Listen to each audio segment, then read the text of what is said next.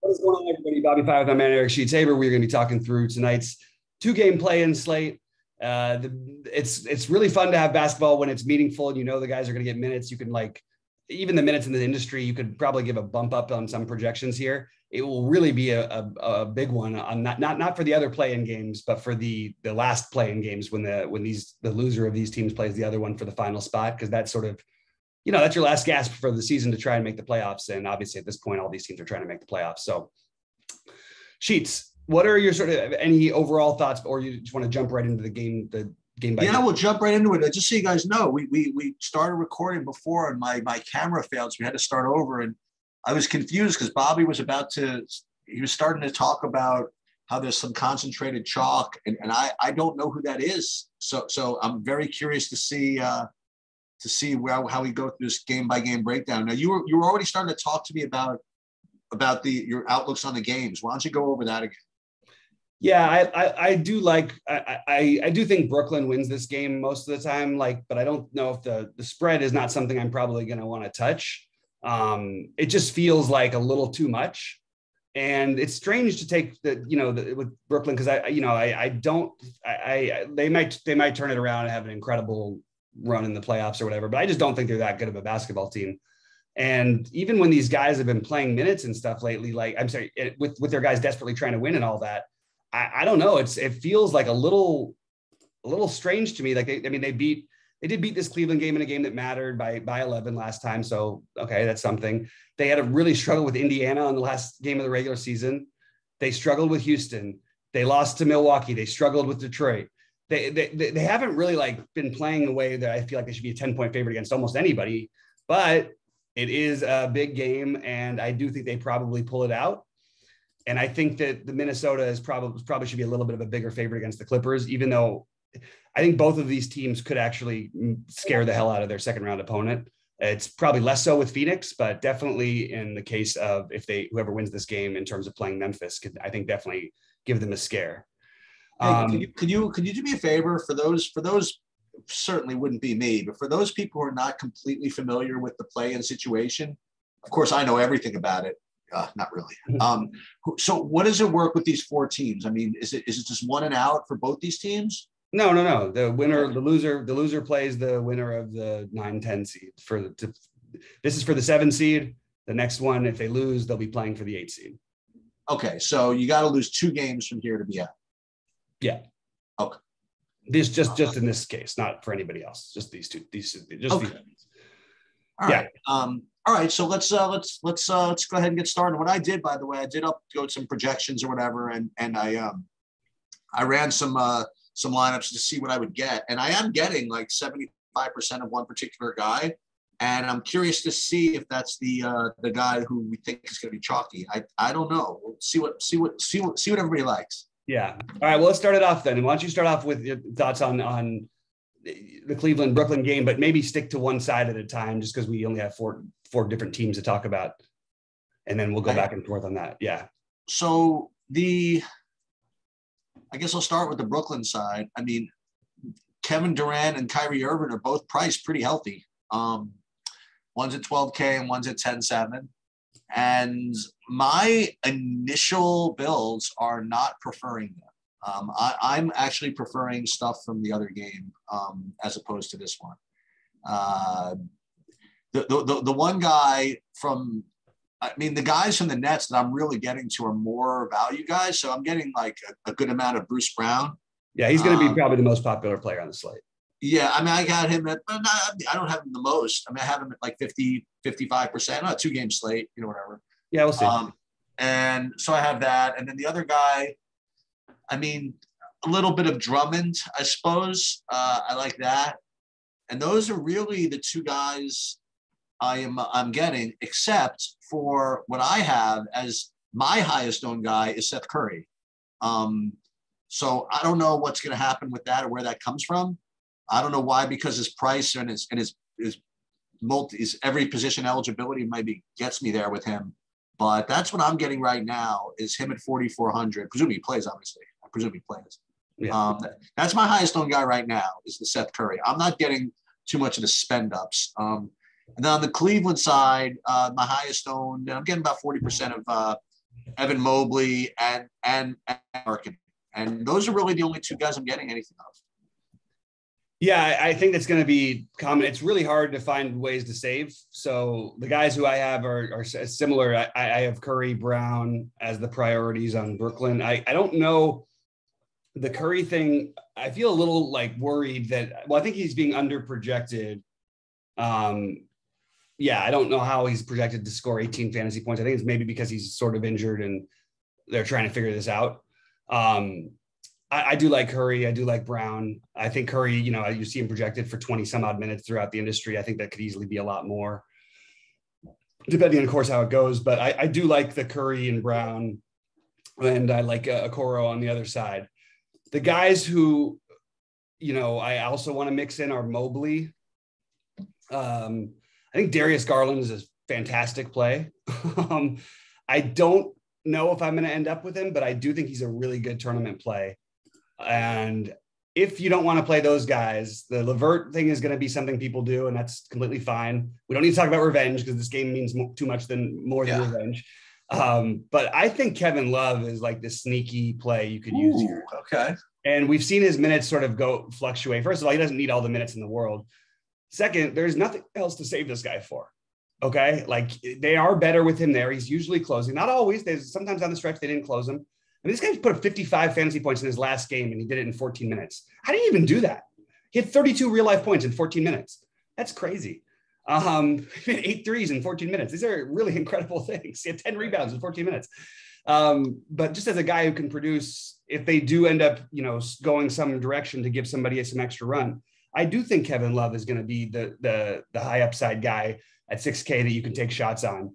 Um, I think on the other side, Claxton's going to end up being popular, but I just I don't know. It's very strange what they're doing with the rotations and stuff in general. So I don't I don't know with Brooklyn, but Claxton, I get it as a value save. I would rather play Okoro and be safe with the minutes on on Cleveland because Okoro, who's going to play, he's projected to play 30 minutes or whatever.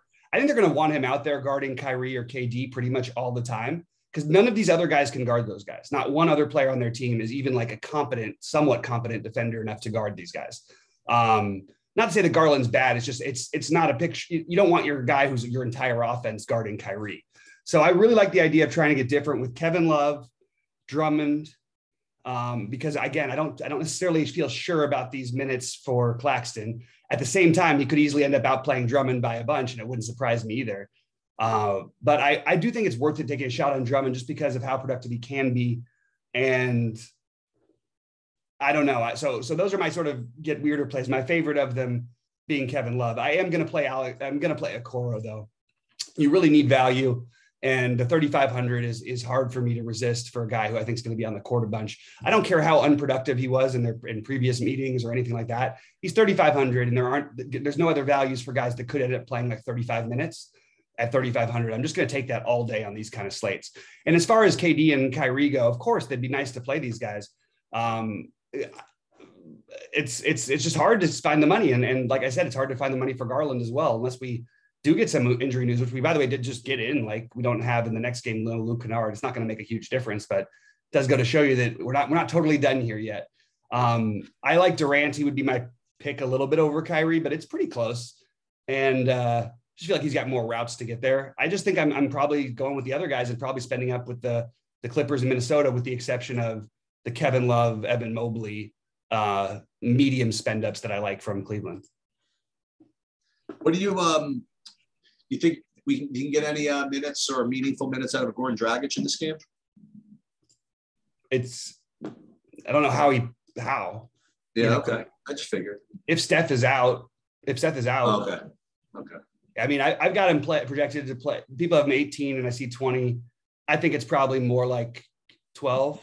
Okay. Um, may, may, it could be more. I mean, if they're struggling with something else or anybody gets in foul trouble, he'll be the first one there. And if he plays well, he'll stay on there. But like, do either of these teams, do either of these teams have to play back to backs or no? There can't be a back to back. No, no, no. Like if they win or lose, I mean, they don't play their next game the next day, right?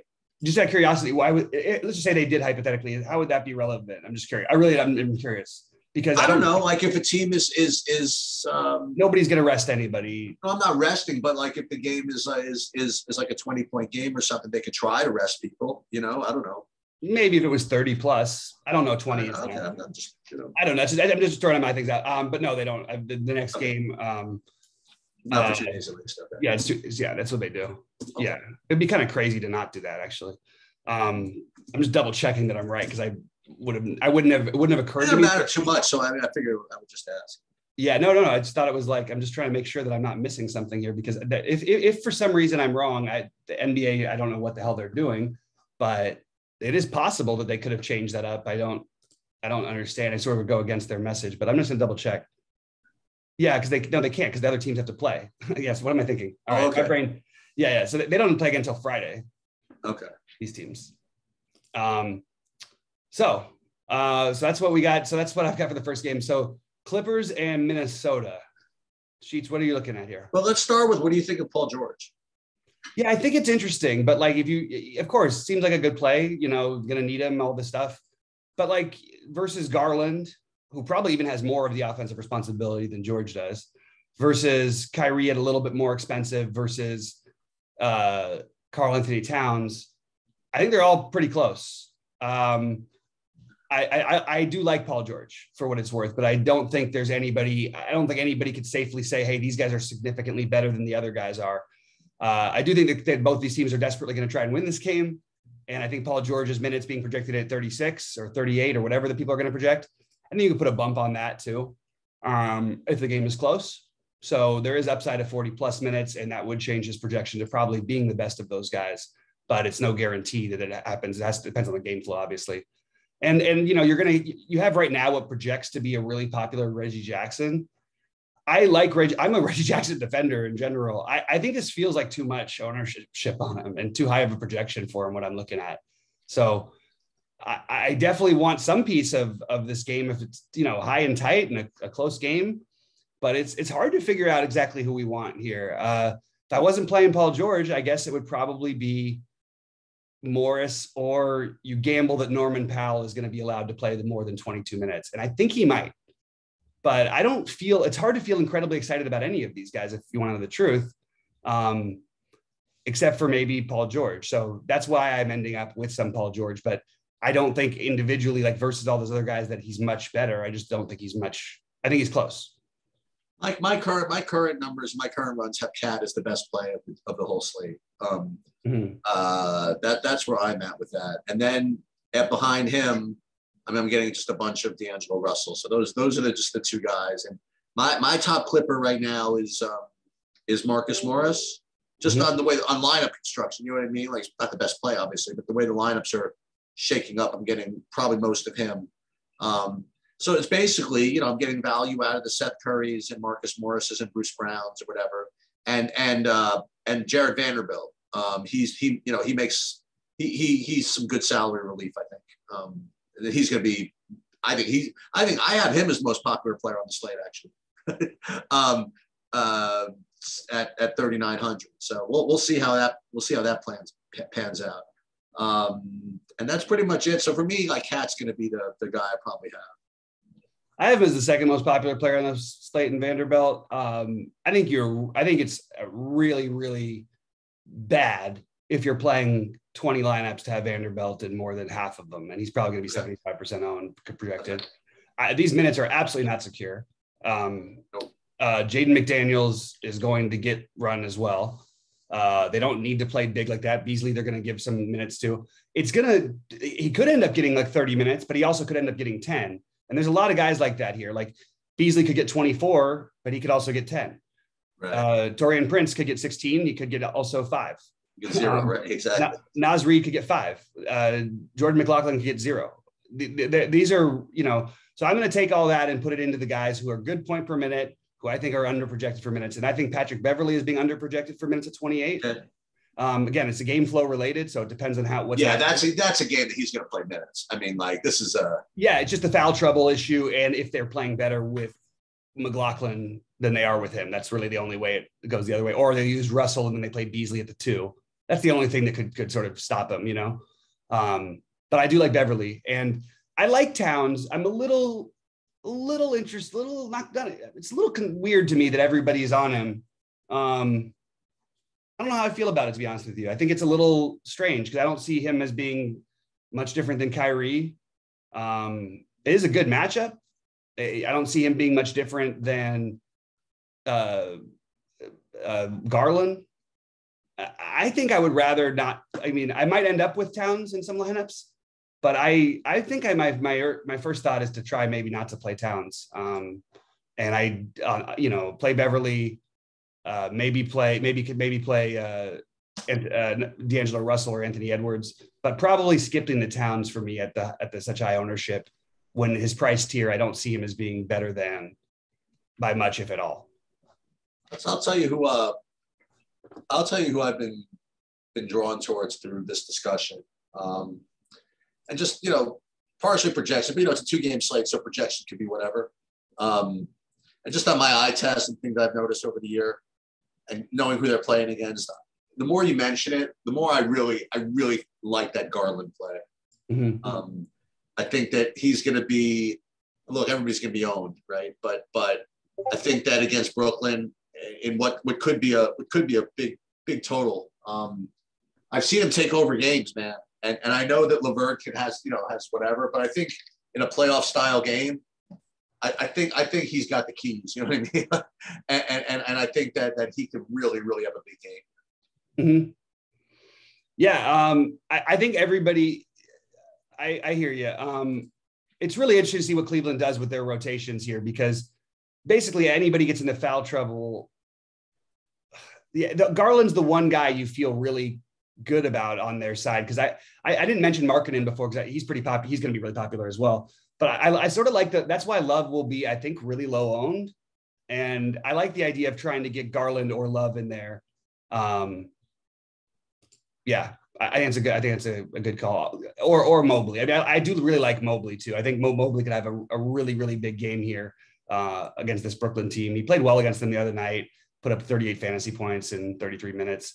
Um, another guy whose minutes could go higher than he's being currently projected for, but um, yeah, I, I, think it's interesting. I, I, do like love the, my, my off, off, you know, off the board ones are, are, or, or lower owned would be love Drummond, um, as my two favorites, but it's, it's, it's tough to get the low ownership on the two gamers here. So I'm going to try and take some shots there. I, I do think that this Okoro thing is kind of interesting to me because I see speculation about Okoro probably will lose minutes to LeVert. I'm like, well, they've been playing at the same time. And I don't know, man. Like, wouldn't you want to have your best defender on the court when you have Kyrie and KD on the other side? it just makes sense to me. I mean, if I was the coach, go out there and score no points. He'll accidentally work his way into some, but and he's so bad point per minute. But it's like we need a cheap play there's no other cheap play that's going to play like this. This cheap is going to play like 20 minutes. He's going to play 30 at least, I think. Right. Um, so I don't know. That's what I would do. He did have five fantasy points last time these teams played in 28 minutes. So he's not a fun roster. But again, I mean, but, but now, by the way, neither is Jarred, Jarred, Vanderbilt. Like he's got a huge range of outcomes when every time he plays, and it's not just attached to minutes because they have a lot of other things. He doesn't really do much on that team except for defend and rebound. Um, anyway, so it's going to be an interesting, fun slate. We'll touch on it when we do our live show for yes. baseball. Yep. And uh, it should be a fun night in uh, the DFS world, as, as if we haven't had enough of them lately. There's been a lot. Of sounds good. Hopefully, that everybody plays. Yeah. All right, guys. Good luck to everybody. We'll see you at six Eastern. Okay.